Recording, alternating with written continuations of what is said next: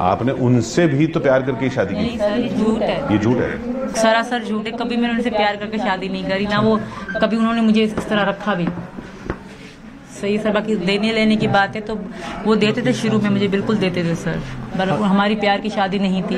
इस मजबूरी को मोहब्बत ना कहा जाए सर। मैंने पहले भी कह दिया था। वो उनका कहना है। कि वो प्यार की शादी है? बिल्कुल वो वो तो हर चीज़ कह रहे हैं। हर चीज़ को उल्टा जिस तरह पाकिस्तान के लोग नफरत ज़ाहिर कर रहे हैं मेरे पर गलत गलत यहाँ के लोगों के दिमाग में गंदगी भर रहे हैं। क्या वो सच हो सकता है सर? एक लड़की के सीमा के हज़ारों दोस्त थे क्या ये सच हो सकता है सर? एक औरत के हज़ारों दोस्त बन सकते हैं सर? वो भी जिस चार बच्चों की माँ हो जो घर में रहती हो। जो जो बचपन जिसका गाँव में हो बाद में शहर में हो तो ऐसा हमारे यहाँ ऐसा नहीं हम बलोच कबीले से हैं सर आपको बलोच पता होगा। तो ऐसा कुछ भी नहीं था खाली ऐसे ही बोल रहे हैं पाकिस्तानी बहुत आग आपके वीडियो देख रहे हैं ना वो कह रहे हैं ऐसा तो पाकिस्तान में होता नहीं है ये तो लड़की। अब हुई है क्योंकि मैं अब हो गई तो मेरे नाम से बहुत लोगों ने आईडी बना रखी है सर। सिर्फ़ मेरी मेरे लेकिन वीडियो तो आप ही के हैं ना सारे। बिल्कुल मेरी है सर। मैंने अभी वो यहाँ पब्लिक करी मेरा प्राइवेट अकाउंट था। ज़िंदगी में कभी मैंने पब्लिक कोई फ़ोटो नहीं करा। जब मैं यहाँ टीवी में आने हर हर कोई मेरी वीडियो जो मैं देख रही थी। जब वहाँ थी तब आप वीडियो नहीं डालती थी? ना मैं डालती थी पर प्राइवेट कभी भी इनके अलावा मेरे अलावा कोई नहीं देखता था। जब मैं जेल से छूटा तब मैंने किसी के फ़ोन में आईडी लॉगिन करके पब्लिक करी और ये उधर जब नेपाल में गई तो होटल में वो होटल वाला कह रहा है विनायक वाला कि आपने नाम कुछ और बताया था? नहीं सर। पहले तो ये बाद में आई थी। पहले तो मैं ही गया था। रूम मैंने बुक कराया था। जब मैं जैसे मैं काठमांडू न्यू बस पार्क पहुँचा था तो वो अंकल थे जो बस से उतरते थे। मैं मेरे को बुलाया मैंने कि कोई कमरा चाहिए किराए पर? मैंने कि हाँ चाहिए। मैंने कि मेरी बीवी आएगी शाम को वो भी रहेगी यहाँ पर। तो तो ये झूठ बोला हाँ। हाँ। और क्या कहते हैं वो हम मान गए मान गए होटल पर गए। मैंने पूछा मैंने कि आधार कार्ड आधार कार्ड तो नहीं चाहिए? तो उसने बोला नहीं आधार कार्ड की कोई ज़रूरत नहीं है रख लो बेटा तुम। तो क्या कहते हैं फिर मैंने उसने उन्होंने बस ये पूछा था कि कहाँ से हो और क्या नाम है। मैंने बताया था कि सचिन नाम है और मैं न- दिल्ली के पास नोएडा गाँव नोएडा में रबूपुरा गाँव है वहाँ से हूँ। बस। और उनके ऊपर है उनने नाम लिखा ना लिखा। हम तो सर 24 घंटे के अंदर उन्हें पाँच सौ रुपये रोजीना दे देते थे। नेपाली। कितने दिन रहे सात दिन रहे थे। और सात दिन अच्छा आप सात दिन बच्चे अकेले थे। किसके पास थे? बहन और मेरी चाची के पास वो कराची में रहती है उनका अपना घर है कराची में। और उन्होंने वो सोच रही थी कि आप लाहौर। आप लाहौर गई मेरी जो कल उनसे बात भी करती थी जब इनको हटा के करती थी उनको लाहौर का ही पता था क्योंकि उनको आज तक यहाँ आने तक पता नहीं था कि मेरे पासपोर्ट बन गया। बोलती नहीं थी कि दिखाइए तबरेज की दरखास्त मेरे बच्चों से बात होती थी वो इतना मेरी बहन थी बड़ी वाली। छोटी तो गाँव में रहती है उससे तो वो नहीं है। बड़ी जो शादीशुदा है सफ़ीर अब्बास की पत्नी है जो उससे मेरी ज़्यादा बात होती थी। तो वो बच्चों से बात करवाती थी चारों बच्चे। भाई चार तीन बहनें एक ही भाई है हमारा। अच्छा एक भाई जो आर्मी में चला गया। और चाचा भी आर्मी में? सर वो हमारे पैदा होने से पहले हैं उनसे मेरा कोई संबंध नहीं है उससे मुझे जोड़ा भी ना जाए। अगर मेरा उनसे कोई भी थालू निकलता है मैं यहीं बैठी हूँ। मैं हाजिर हूँ जिस तरह मुझे जिस तरह की सजा दी जाएगी मैं मुझे कबूल है। अगर मैं उनसे थोड़ा भी इतना से मेरा अगर उनसे लगाव है कोई ऐसी चीज़ मिल गई हाँ इनसे सीमा का है या इसमें कुछ है मेरा गुना एक ही है सर मैं मैं वीज़े के लिए ट्राई भी करा इंडिया के लिए ऐसा नहीं कि सिर्फ़ डायरेक्ट मैं नेपाल के गलत सोचा। कौन जेल जाना चाहेगा सर? इनको इनसे पूछे क्या मैंने इंडियन एम्बेसी के लिए ट्राई नहीं करा? पर ये भी तो शायद एम्बेसी की गलती वीज़ा देना चाहिए था शायद मैं इस तरह ना भटकती। वीज़ा एम्बेसी ने मना कर दिया आपको वीज़ा के लिए? जब फहाद आए थे उन्होंने उनको दिया उन्होंने मना कर दिया कि कागज़ आपके पूरे नहीं आपको एम्बेसी वीज़ा दे ही नहीं सकते। जी क्या कमी बताई कागज़ की ये कुछ नहीं? सरकारी ऑफिसर के साइन चाहिए थे। उनकी शनाख्त जो आधार कार्ड काम करने वाली कॉपी होती है उसकी कॉपी चाहिए थी। यहाँ का भले टीचर हो डॉक्टर हो कोई भी सरकारी हो वो इनको नहीं मिली। आपको पाकिस्तान याद नहीं आता? नहीं सर मैं यहाँ बहुत खुश हूँ। पाकिस्तान के नाम से मुझे खौफ आता है सर। सच तो यही मैं जाना भी नहीं चाहती। क्योंकि मेरा पीछे कुछ है भी नहीं और मैं इनके बगैर नहीं जी सकती सर। मेरे बच्चों का फ्यूचर यहाँ है वहाँ नहीं है। अगर यहाँ की अगर हम ऐसा मान लो कि अगर यहाँ की जेल भी फिर भी अच्छी रहेगी। वहाँ का तो आपको पता नहीं क्या हो जाएगा। यहाँ से मैं वहाँ पे वहाँ का कानून गैरत के नाम पे कुछ भी नहीं कह सकता सर। यहाँ वो गैरत की बात बन चुकी है। ये कहा गया कि आप दुबई पहले भी जाती रहती थी आप डांस करती थी वहाँ पे। कभी ज़िंदगी में सर मैंने सिंध से बाहर कदम ही नहीं रखा। डायरेक्ट आई इनसे मिलने पहली बार दूसरी बार भी इनके पास ही आई। कभी ज़िंदगी में सिंध के बाहर मैंने कदम भी नहीं रखा। खैरपुर खैरपुर से यहाँ एक बार जेकमाबाद गई। जेकमाबाद खैरपुर कराची के अलावा मैं कहीं ज़िंदगी में जी बिल्कुल। एक बार वहाँ एक दो बार गई बस।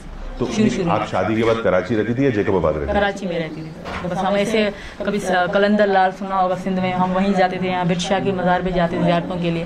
बाकी ज़िंदगी में मैं मतलब दो तीन सुबह और भी हैं, वो सिंध में ही है ना। वहाँ जैसे मन्नत रखते हैं, बच बेटा हो जाए जाएँगे तो इस तरह हमारा खानदान बस करके जाता था, वैसे वहीं जाते थे, यहाँ बिरशाह पे जाते थे। तो इन चीज़ों यहाँ और जिकमाबाद और खैरपुर, कराची। बस यहीं एरिया कला में कहीं ज़िंदगी में नहीं गई। मेरी बड़ी बहन लाहौर गई है, बड़ी बहन करबला गई है, इमाम हुसैन की दरगाह पे। छोटी बहन लाहौर गई है, अभी मैं नहीं गई थी, इसलिए मैं उनको कहा, मैं भी जाती हूँ। उनसे मैंने ये ड्रामा करा, झूठ बोला, सर। और मज़हब बदलने का वो तो मेरा वहीं साल पहले से था। जब इनसे मेरी बातचीत ज़्यादा होती थी, यहाँ की चीज़ें देखती थी और वहाँ भी एक सोनम नाम की हिंदू दोस्त थी मेरी, वो भी वहाँ मोहल्ले की थी। तो उनके घर भी मैं जाती थी, बस वो काली माता के पास मुझे जाने नहीं देती थी, क्योंकि तब हम गोश्त वोश्त खाते थे, गाय वाय का। तो मुझे मना करती थी। तभी मैंने गोश्त छोड़ दिया, क्योंकि मैंने कहा, मुझे इनको भी पूजा करनी है। तो थोड़ी बहुत आती थी, वो करती, उनके साथ में खड़ी हो जाती थी। तो मेरा तब से ही मन था। इनके पास आने का तो मेरा था कि हम शादी मैंने इनको पति तो फ़ोन पे ही मानती थी मेरे पति यही है। ऐसा क्या हुआ कि इनको पति मान रही आप? इससे बहुत प्यार हो गया मुझे सर। इसके पीछे क्या बात है? समझ में नहीं आता दिन रात हमारी बात होना आदत हो जाना एक तरह ये बात ना करें।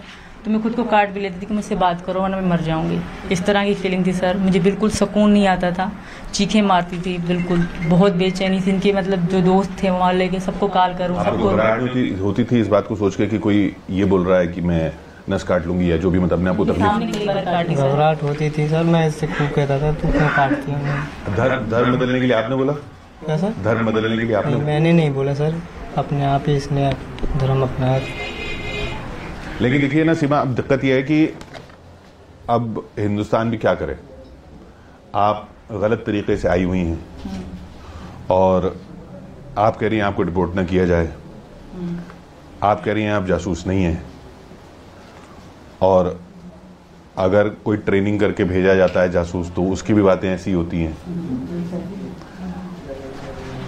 तो किस तरीके से यकीन दिला सकती हैं आप? या यकीन तो देखिए आपने तो अपनी बात रखी दी है लेकिन हिंदुस्तान और क्या करे आपको रिपोर्ट करने के अलावा?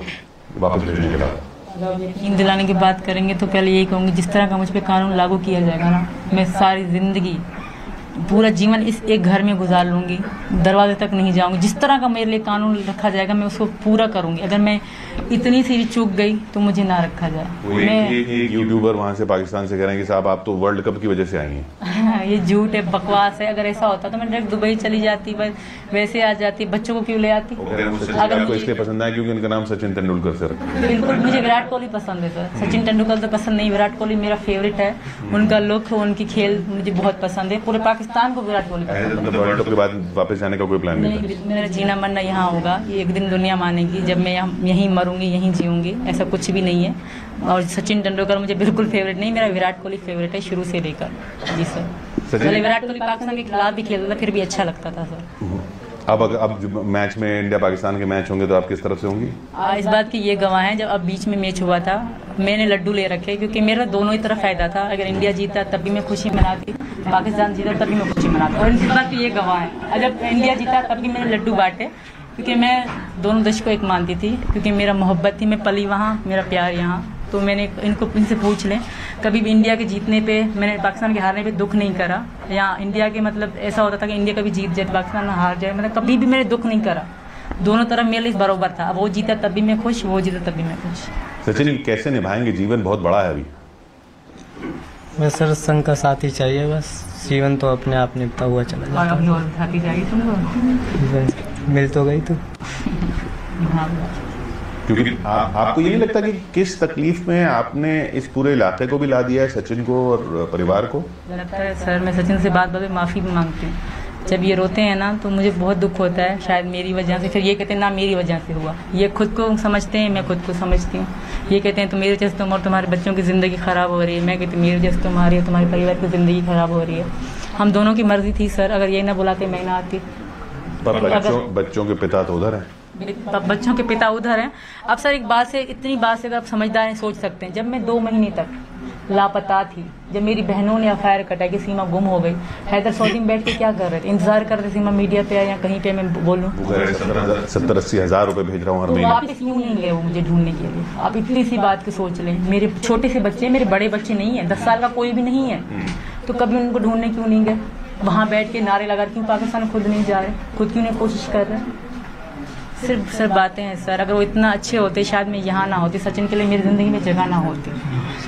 नहीं पर अ, बच्चे अगर कहें कि भाई हमारे पिता तो वो हैं। बच्चे कहेंगे तो बच्चे को मैं जाने दूँगी सर। पर बच्चों ने कभी उन, उनका प्यार ही नहीं देखा। आप अगर बच्चे सचिन हैदर के पास जाना चाहेंगे ना मैं भेजूँगी खुशी खुशी अगर वो रोएँगे तो मैं नहीं भेज सकती सर। मेरे बच्चे मेरे मुझे ही माँ मानते हैं मुझे ही बाप मानते हैं। उनकी ज़िंदगी में मैं ही उनमें ही एक थी ये बात है कि वो पैसा भेजते थे? शुरू में भेजते थे सर इस बात से मैं क्योंकि जब वो गए थे तब मेरा सोना गिरवी रख के गए थे। अच्छा। फिर वो लाया फिर घर लिया मानती हूँ देते थे। जी सर। तो काफ़ी लंबी बातचीत आपसे लगातार हर टीवी चैनल हर जगह हो रही है एटीएस ने भी कर ली है। आखिरी कोई मैसेज आप देना चाहेंगे हिंदुस्तान की जनता को जो यकीन करे? क्योंकि खबरें देखिए, हर तरह की आती हैं। आपको भी हर तरह की खबरें आई हिंदुस्तान के बारे में। आपने एक हिंदुस्तान के बारे में एक तस्वीर बनाई। अब आपके बारे में हिंदुस्तान तस्वीर बना रहा है। मैं क्या कहूँ? मैं यहाँ रहना चाहती हूँ। अगर कि मैं एक माँ हूँ मुझे माँ की नज़र से सिर्फ़ जासूस जासूस जासूस की नज़र से ना देखें, माँ की नज़र से भी देखें। मैं चार, तीन बेटियों की माँ हूँ। मेरे बेटे को भी छोड़ दें। बेटा बेटा होता है। मैं तीन बेटियों की माँ हूँ। और वो मेरी ही बेटियाँ हैं तो मैं अगर मैं अगर पाकिस्तान चलेगी तो उनका जीवन खराब हो जाएगा। सबसे यही रिक्वेस्ट है, भले कहीं भी रख लें, कोई भी कानून हम पे रख लें, पर वापस ना भेजें, सर। वापस हमारे लिए कोई कुछ भी नहीं है। धन्यवाद, सर।